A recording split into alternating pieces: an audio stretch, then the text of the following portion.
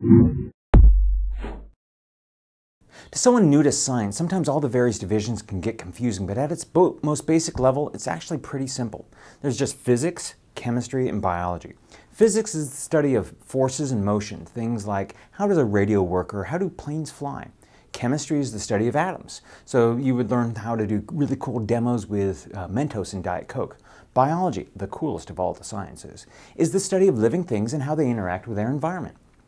Now, within biology, there's many subdivisions depending on what you're studying. Molecular biologists and biochemists, at the smallest level, they're studying molecules like DNA and proteins and figuring out how do they impact the entire organism. Cell biologists, they study how cells work, while somebody who studies physiology looks at how the organ systems work in order to keep the body alive.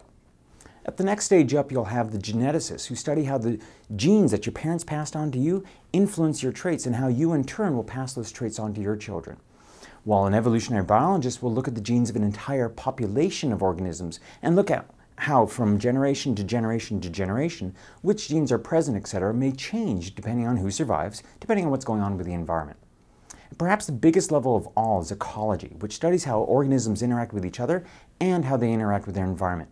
This can range from doing things like going to a forest and studying all the different animals and figuring out who eats who, or something like George Washington Carver when he figured out that by planting peanuts in a field, a farmer could actually add nutrition to the soil to help all the other crops grow.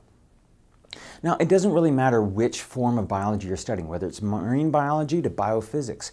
All biology is about the study of us living things, whether we're bacteria or uh, people, and how we work and interact with each other.